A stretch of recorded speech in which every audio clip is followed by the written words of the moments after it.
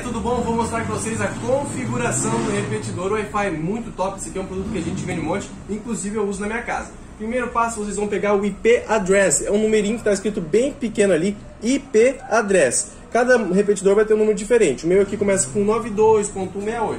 Anota isso. Depois você põe o bichinho na tomada. Colocou na tomada, ele vai acender uma luzinha. Ele tem um botãozinho aqui do lado. Você segura o botão por 5 segundos até resetar. Depois disso, você vai lá no seu celular tu vai lá no, no Wi-Fi, ó. Deixa eu abrir aqui meu Wi-Fi. Ó, lista de Wi-Fi, ele tá puxando, tá? Leva um pouquinho mesmo. Ó, apareceu, é o Extender, certo? Quando aparecer aqui, vocês vão apertar em cima dele para conectar. O meu já está conectado. Saiu dele, vai vir aqui no seu Google e vai digitar o número. Tá vendo que eu já digitei ali, ó? 192.168 a ponto 11.1. O de vocês vai ser um pouquinho diferente, o final aqui vai ser diferente, mas tem que digitar o que está no repetidor de vocês, tá bom? Vou apertar aqui em login. Ó, eu quero usar como repetidor. Ó, aqui ele já está puxando os Wi-Fi presentes.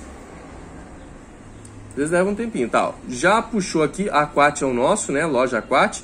A senha, você vai colocar a senha do seu Wi-Fi exatamente, tudo certinho. Não pode ter nada diferente. O nosso aqui é loja, legal?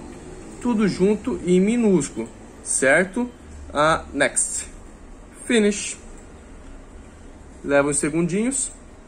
Depois disso ele vai aumentar a área de cobertura do Wi-Fi na sua casa, né? Então, a casa, às vezes é sobrada, a internet não chega bem em cima, às vezes a internet não chega bem na parte de trás, às vezes é duas casas no mesmo terreno, então ele vai facilitar um monte. A gente vende um monte, tem um precinho bom, produto de qualidade, garantia, tudo bem certinho.